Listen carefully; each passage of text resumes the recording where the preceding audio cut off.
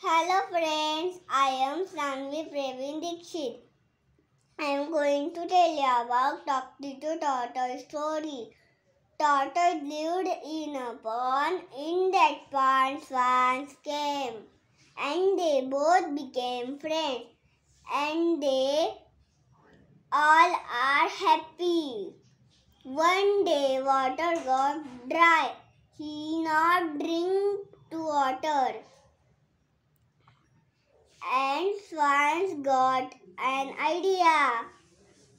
Tortoise hold a stick in his mouth and swans hold a stick to end of stick in his mouth.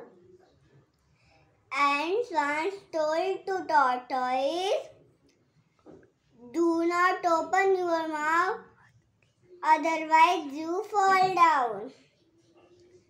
And tortoise friends laughed him, and tortoise got angry, and he opened his mouth.